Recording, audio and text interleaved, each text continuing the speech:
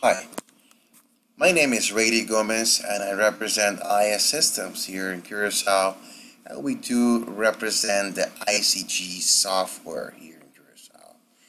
Today I'm going to show you how to create a fixed item and a menu item in FrontRest ICG. So uh, here's your login screen. If I enter, I'm going to a table I'm going to show you here that you have we have no buttons at all created in our system. So what we're going to do is we're going to go to F10 to the back office. We're going to go to the item tab. Right now there's two ways you can create or actually it's like four ways you can create a button in FrontRest. I'm going to show you guys today the first one. Uh, the first one will be going to item. Over here, you just go to OK to enter the section screen to make it a button, and you go to New. We're gonna call a button that's called Hamburger.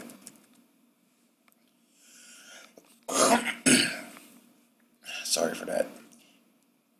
I always would like to work with reference numbers so let's say we start with reference number, for example, 0001. Section is very important since the section is what ICG manages for your printers. So over here, if you notice, it won't let you create a reference number, so we will have to create it from outside.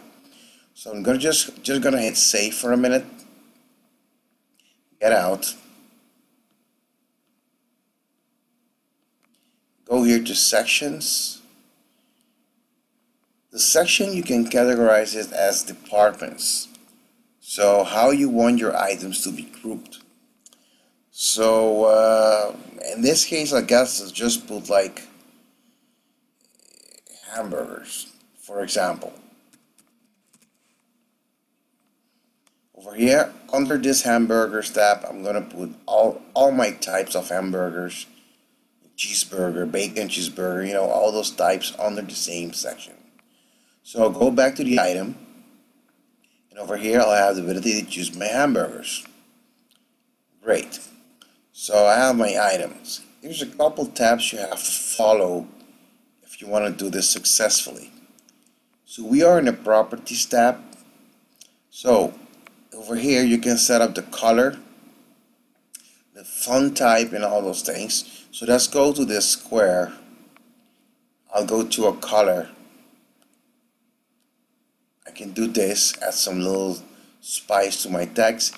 I can go to my font.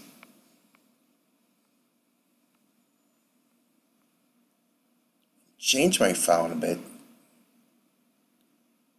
Like any other regular program. Even change the color of the text. For now, I'm going to leave it like that. I'm going to hit OK. The next tab you want to look at is the prices tab. Over here, I have my setup system set up with two rates. You can have also one price rate for your restaurant if you don't have any separate pricing for your bar and your tables. So I'm gonna put for the tables for now. This hamburger is gonna cost 10 guilders. Right? Um, I'm gonna go here to over here modifiers. If you need to add any modifiers to this burger, you can add it right here that belong to this item.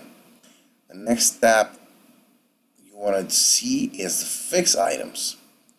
Fixed items is are the buttons that you're gonna see on the top of your screen.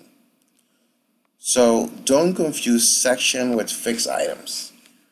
If you make a section and if you don't make a fixed item, you can still make it appear.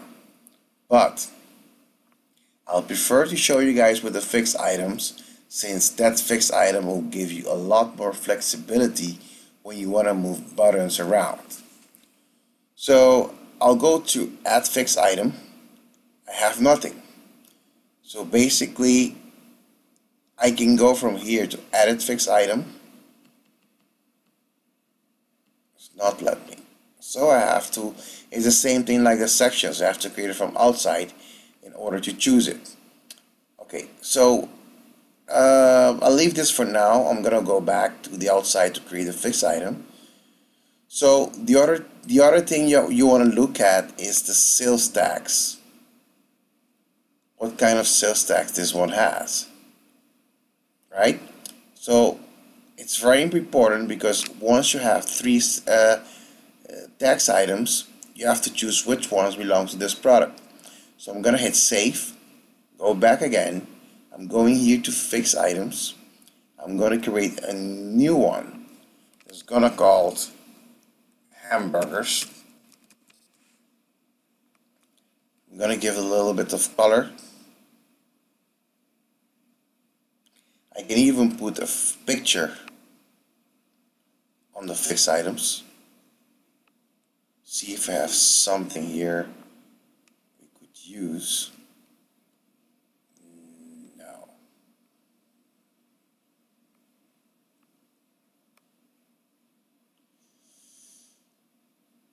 I don't have anything here I can use. I'll show you in a bit about the fixed the pictures. Okay, I created a fixed item. I can choose the fixed item from here also. So this is the, the main button and I want to choose which are the buttons that's going to belong to this fixed item. So I can go also straight here, sections, which section, hamburgers, and here's the item I created, and I can move it to the right. Save. So this means that this section, Dick's hamburger is, is going to be shown under the fixed item that's called hamburgers. Let me go outside and show you. So here's the item we created. A hamburger is the item that belongs to this fixed item. Let me show you in the part of the items uh, button where we were just now so you we can finish up and you see what are the other way to attach the fixed item. So we saw all those steps. In the fixed item you see here you have hamburgers. So I can add fixed item here since I created it and I can just choose it. Basically that's what it is. But we're still missing one more thing. If you see here it's showing hamburgers on white and we made it in red so it's not the same button what the system is doing right now it's showing sections on the top. We don't want to work sections, we want to work with fixed items, fixed items in this case. So I'll go to F10 and I'm going to change the setting here. The first one, do not show sections. On the right here, I have my fixed items. I, I'm going to say, I'm going to check it and see I want to show this fixed item all the fixed items you're going to create is going to show on, on here on one row each other. You have to make sure if you're not looking at, at your screen, you have to come in here and make sure they're all checked. So I save it, get out, and you see it changed to red. So this is the fixed item, hamburgers, the red one, with my item, hamburger.